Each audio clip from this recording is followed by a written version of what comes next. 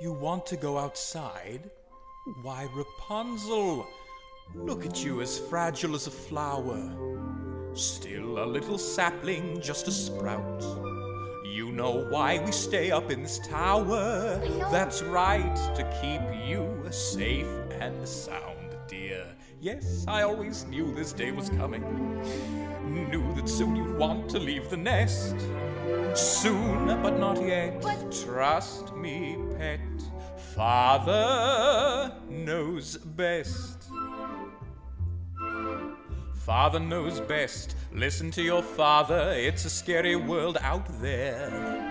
Father knows best. One way or another, something will go wrong, I swear. Ruffians, thugs, poison ivy, quicksand, cannibals, and worse, the plague, yes. Also large bugs and men with pointy teeth. Oh, stop, no more, you'll just upset me. Father's right here. Father will protect you, darling, here's what I suggest. You'll thank me later, stay with Pater. Father best.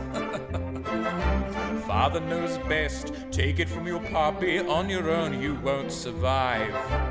Grubby, underdressed, immature, snappy, please, they'll eat you up alive. Gullible, naive, positively grubby, ditzy, and a bit, well, vague. Plus, I believe, getting kinda chubby. I'm just saying, cause I love you. Father understands. Father's here to help you. All I have is one request.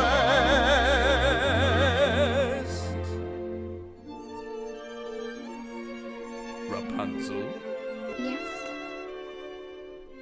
don't ever ask to leave this tower again. Yes, Father.